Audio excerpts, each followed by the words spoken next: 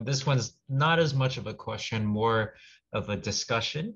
Um, let's try to compare residential life versus online life. Like we have a diversity in our panel here between residential and online. Angela and Alina being uh, residential, and then Shashank and Anna being online. So let's try to compare like the class rigor, the admissions chances, um, the student life there, the opportunities you get there, how you can schedule around your classes and extracurriculars to make some free time.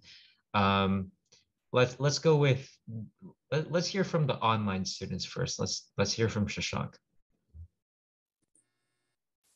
Yeah, so okay, hopefully the, this is still working now with me uh, uh, with the video on. But um, so first to clear up any misconceptions of how the online program actually works. So um, online, uh, unlike residential, uh, if you're in SSM online, you still go to your base school, uh, generally full time. So that's what I did uh, junior year and, and, now. So I'm still going to Green Hope full time, taking all my classes and I take one or two extra classes per semester through the online program, um, and they're supplemental. So I take them uh, like they're they're scheduled for different times. Um, we have classes once a week um, for each specific course. So like right now, uh, this semester, this past semester, I just finished.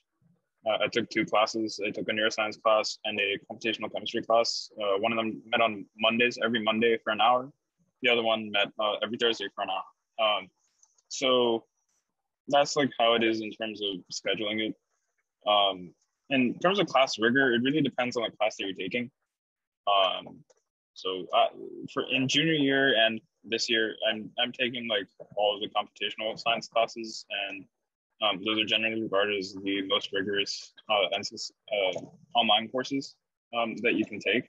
I, I, can't really speak for the residential uh, class so I'll leave, leave that up to them. But um, I do know like compared to my neuroscience course, the difference in rigor uh, was astronomical. The neuroscience was uh, the amount of work that we had to do was very little compared to the computational science courses. So it really just depends on what you're taking there. Um, but they the classes will give you homework that you have to complete um, every week and uh, submit back to your teachers for grading. And yes, uh, SSM Online also gives you their own transcript. Um, so maintaining a high grade in these courses is pretty important because they uh, you can submit these transcripts to colleges uh, and that would be like a good thing because you're taking supplementary courses. That's all I really have. Oh, and, and, if you want to talk more about that and I guess about student life and how we can meet up, maybe online weekends, things like that. Um, yeah, I definitely, like you said, the computational courses are, I found to be a lot more rigorous than some of the others I've taken. Um, but as far as student life, even though we are all online, I've kind of found that there's a lot of um, just community building with just through like group chats or we meet up on weekends um, for those online weekends. It's not as awkward as you would think because we've had this contact throughout the semester, depending on um, how we've either like worked throughout the class or supported each other. So it seems more like you're meeting up with friends you've already known than people you have only seen through a computer.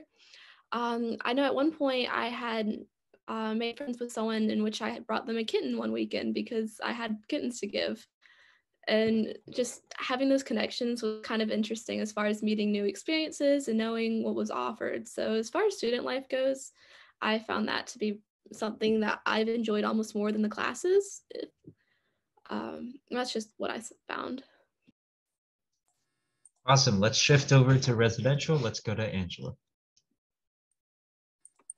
Okay, I, I think I'm not 100% sure for just touching on class rigor and student life. So I think I'll go over that first and then uh, jump back to the rest. But as for class rigor, um, there's five classes per semester.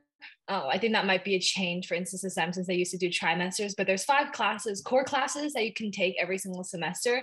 And then there's also um, a few elective classes. I think you can take up to three each semester as well, but those don't actually count into your, your GPA.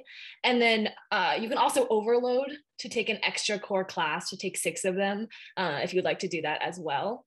So that's um, how the classes are set up. Uh, I would say for me this semester, I didn't take any chemistry or physics classes. So uh, I know those departments tend to be one of the hardest ones. And SSM, uh, I took more of bio classes, so I think that helped my class or my workload to be a little bit better. But it definitely is a big change, even though I came from Enloe, in which our classes tend to be pretty rigorous as well. I would say a lot of my classes require a lot more dedication um, and studying and notes and paying attention in classes. So I would say it, the classes definitely tend to be um, tend to be more rigorous and you have professors that are really dedicated to your work though um, so that's that for classes. Uh, for student life, I'll touch briefly on that. Uh, it's obviously very different from online since we live there. I do think that the student life at NCSSM, there are pros and cons, but I would say the memories that I've made there so far definitely outweigh the, the cons. Since you spend your entire day with these people, whereas in a normal high school, you would you would stop seeing them at like 2 p.m. Um, you spend the entire day, like up to like 12 in the morning with these people uh, every single day. You form some friendships that I think uh, I wouldn't have been able to form at my old high school, where you're really, really close with them, some of these people. Um, and although you're surrounded by like people working so it does get stressful a lot i think you make a lot of memories on campus there's also a lot of like hall activities and uh, school-wide events that make i think student life there really worthwhile Great. Awesome. Let's go to Alina. Um, yeah, Angela got a lot of what I wanted to say, but so for like student life, um, I just want to like completely agree what she says. Um, I think a lot of why I chose to come to NCSSM was for the community and the experiences. Um, because it is very much like college in that you live there and it can be kind of like a bubble sometimes but it's also so nice that you can just like if you meet someone cool you can be like hey do you want to get dinner today today? And like um because we all live there it's like you definitely get to know people really fast. Um and i really like it because it's like kind of a more gradual transition to college. So instead of like being like super abrupt, like you go to high school, you live at home, you get out of school at two, and then you like go to college where you're like maybe completely alone 10 hours away. You have like this kind of transition. And um, that goes for like all of these, not just student life. I, I see NCSSM residential as like um, a transition, like from high school to college. It's like a like kind of a mix of the two. Um, for opportunities, um, for residential students and I think um, online students, there's a program called um, SRIP, which is over the summer, and um, you come to the NCSSM campus and you're able to conduct research. Um, for residential students, there's also a few more opportunities, like there are the research and science programs where you spend a year long um, doing research as like independent research under the guidance of one of the teachers here. Um, and there's like mentorship where you um, are mentored by like a professor at UNC or Duke. Um, so that's like a lot of info that you don't really need to worry about. But I would just say research is a super, super big thing at NCSSM. And um, there's so many opportunities for it. So I think that's like also a really good reason to consider coming and applying. Um, and then also recently, um, there's been a bill passed that says that NCSSM residential students have um, they can go to UNC with free tuition and um, we're automatically admitted if we have a 3.5 weighted GPA, which is really nice because um, a lot of our classes are like a 5.0 weighted GPA. So it's definitely another thing to consider.